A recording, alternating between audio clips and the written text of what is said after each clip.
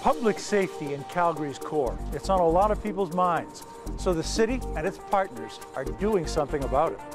Report to Calgarians. This issue Safety in Centre City. Everyone has the right to feel safe in the city's core.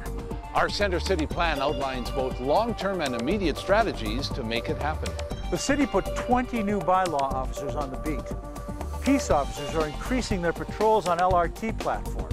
A violent crime suppression team is in action, and 60 new police officers will hit the streets this year. We're also working with local agencies and the province to create long term solutions to address social concerns, such as homelessness. A lot has already been done to improve safety, and there's more to come.